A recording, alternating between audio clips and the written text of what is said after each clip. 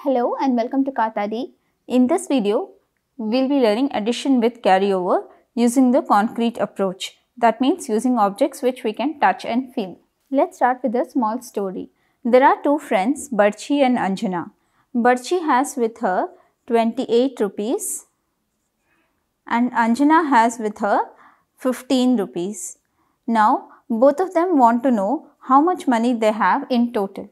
They think that they have 35 rupees, but they are not sure. So, shall we help them? Let's start.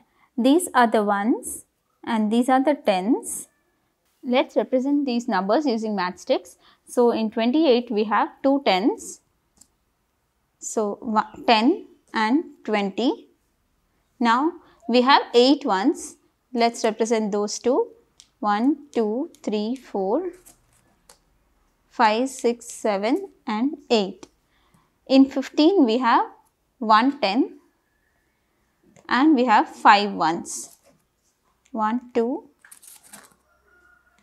3, 4 and 5. Now we have to add these two numbers but before that let's write down the ones and tens.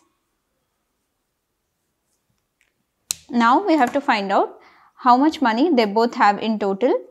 So uh, let's put these things together. Let's start with the ones. 1, 2, 3, 4, 5, 6, 7, 8, 9, 10, 11, 12, 13. Now we have 13 ones. Can we write 13 here? No, we cannot write two digits in one place.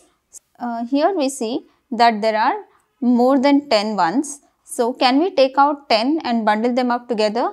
Let's take them out. 1, 2, 3, 4, 5, 6, 7, 8, 9, 10. We are going to take these 10 and bundle them up together. Can we place these tens here in the ones column?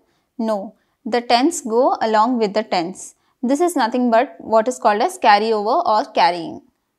Now let's count how many ones are there. We have 1, 2, 3 ones. Let's put it down here. Now let's put all the tens together. We have 1, 2, 3 and 4 tens. Let's write that down here. Now let's count the number which we have here and verify if it's correct. We have 10, 20, 30, 40, 41, 42, 43. So, Barchi and Anjana have 43 rupees and not 35 rupees. So, they are happy that they have more money than they thought. Thank you for watching this video and do try it for yourself. When you are using matchsticks like us, make sure that the children are always under your supervision and children make sure that there is an adult around when you are trying this.